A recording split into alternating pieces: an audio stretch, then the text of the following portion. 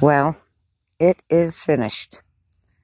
It's Good Friday, and most of us are alone at home, maybe with family members.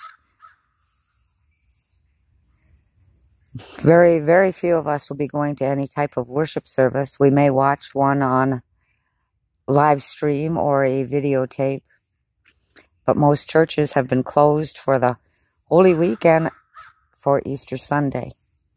As we enter this weekend, we remember that Jesus was alone on that cross as well. He suffered under Pontius Pilate.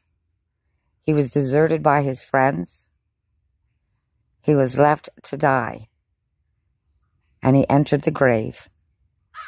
He entered the place of the dead, the place called hell.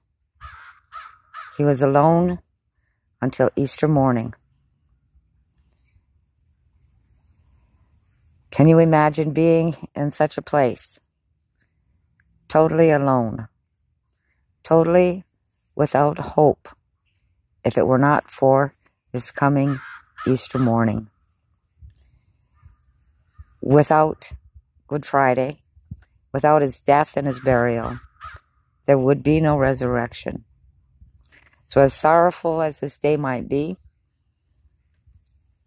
we live with hope because we know that He will rise from the dead. He has risen.